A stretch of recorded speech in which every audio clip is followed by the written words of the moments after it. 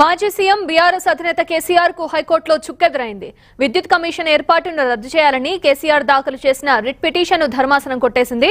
విద్యుత్ కొనుగోళ్ళపై రాష్ట్ర ప్రభుత్వం ఏర్పాటు చేసిన నరసింహారెడ్డి కమిషన్ ఏకపక్షంగా వ్యవహరిస్తోందంటూ కేసీఆర్ పిటిషన్లో పేర్కొన్నారు. దీనిపై అడ్వకేట్ జనరల్ అభ్యంతరం తెలిపారు.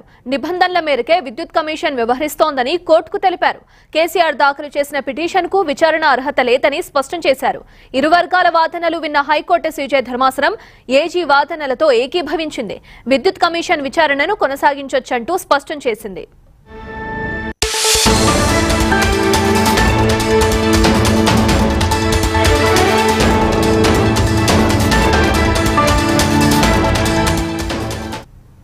బీఆర్ఎస్ హయాంలో విద్యుత్ కొనుగోళ్ళలో అవకతవకలు జరిగాయంటూ ప్రభుత్వం జస్టిస్ నరసింహారెడ్డి నేతృత్వంలో కమిషన్ వేసింది. ఈ కమిషన్ మాజీ సీఎం కేసీఆర్కు విచారణకు హాజరు కావాల్సిందిగా నోటీసులు అయితే కమిషన్ ఏర్పాటును సవాల్ చేస్తూ కేసీఆర్ హైకోర్టును ఆశ్రయించారు.